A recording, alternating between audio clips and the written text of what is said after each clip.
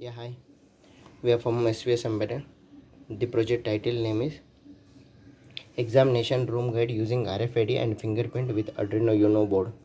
Power supply module, 5 volts power supply module, Arduino Uno R3 board, R307 fingerprint module. It is connected with ex external serial communication RX and TX 2 and 3. 20 cross 4 LCD display. It is connected with RS enabled D4, D5, D6, D7, 8, 9, 10, 11, 12, 13 pin number. Red LED, one green LED indicators. Those are connected with 6 and 7 pin GPIO pin. EM18 RFID module. It is connected to the 0th pin, RX pin. So here we are using 0 to 9 volts adapter power source. We are using 1 ampere power.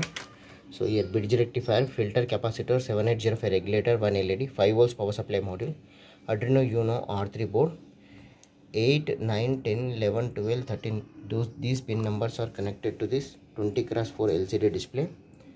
6 and 7 it is connected to the red LED and one green LED. EM18 RFID module is connected to the 0 pin. Fingerprint module is connected to the 2 and 3 pins. Okay, fingerprint R307 fingerprint module and a 20 cross 4 LCD display. EM18 RFID module and one red LED and one green LED. So now I am going to start the power supply. Examination room guide RFID and fingerprint module.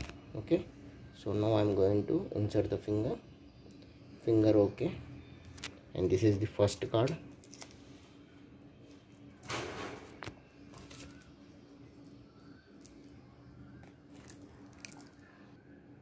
Sushmita, okay.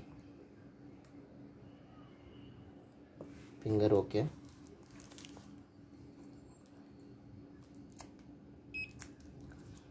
Hall ticket number main gate okay. So now i'm going for the second finger. Finger okay.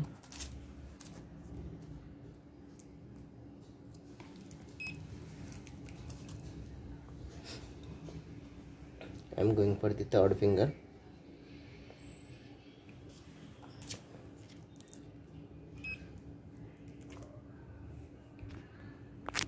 going for the fourth finger.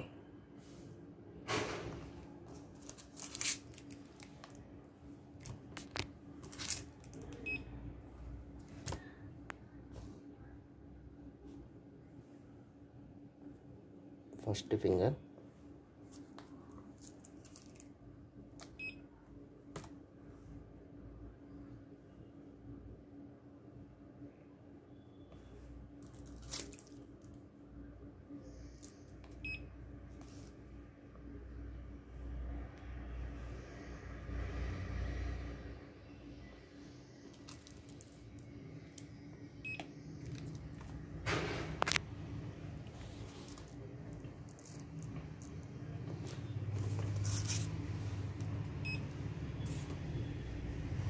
power supply board Arduino Uno R3 board EM18 RFID module and one red LED and one green LED 620 cross 4 LCD display R307 fingerprint module.